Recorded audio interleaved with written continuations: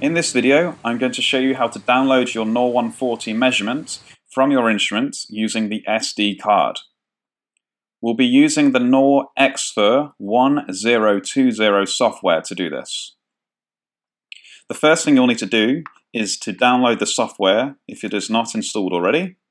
To do that, you need to go to this website, norsonic.com forward slash release. This will take you to Norsonic's website to a download page. You'll then see a form on the right hand side where you'll need to enter some details. So, we're just going to download the demo version of the software. You'll need to select the product type, which is NOR NOR 1020. And the other details in the serial and the name, if you just pop in there, demo. Once you've filled in the form, just click Submit. You'll then scroll down to the bottom of the page, and then you'll see various versions of the software. Now, if you're running Windows 7 or later, you should go with version 6. If you already have a licensed a dongle, then you should install the appropriate version as per the version of your software license. If you download the later version and your dongle is version 5, Version 6 will not work. Okay, so click the downloads. That will begin to download, which will take maybe a few minutes. Now you need to install the software, and the best way to do this is to make sure that there is no version of NOR Xfer installed previously. So remove all previous versions of the software from your PC.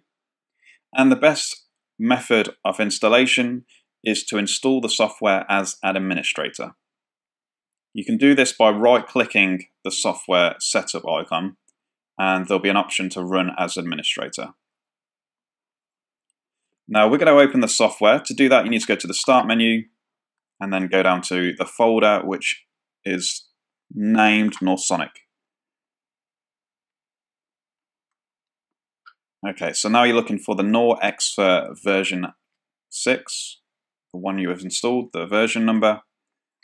If click that, the window will now open and I'll enlarge the screen.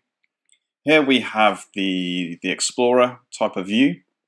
On the left-hand side, we have the instruments, the My Measurements folder, which is kind of like your My Documents, and access to My Computer. So first select My Instruments, insert the SD card into the PC, SD card has now been recognized. Sometimes that pops up in the Explorer window, so just close that. You now want to connect to the SD card. So to do that, you'll need to connect using the connect icon, which is two plugs with a cable.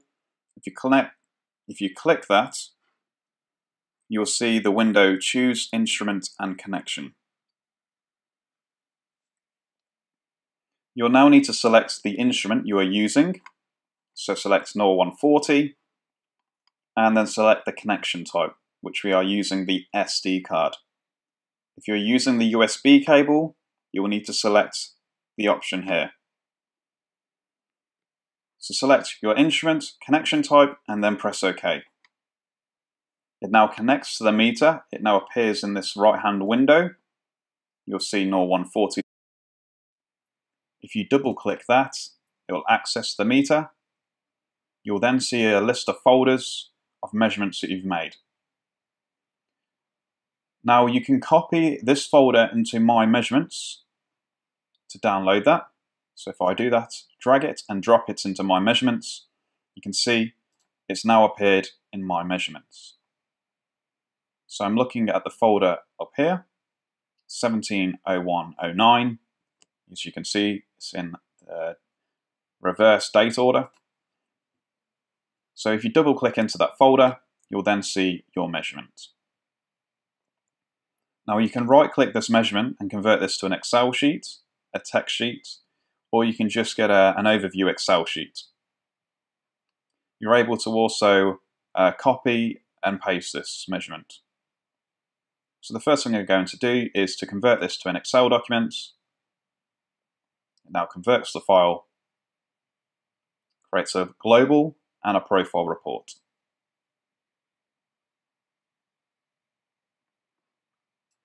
Okay, so global is our measurement from uh, our values from start to finish, and the profile are the values for the resolution that you have logged. So in most cases, this might be every one second.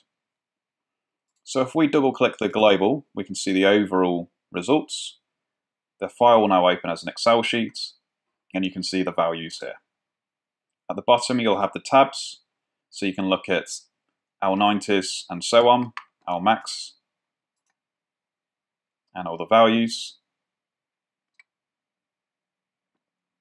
If we go back to NorXfer, you can also open the profile measurement. So you can see the values for each period. In this case, I've done periods of one second.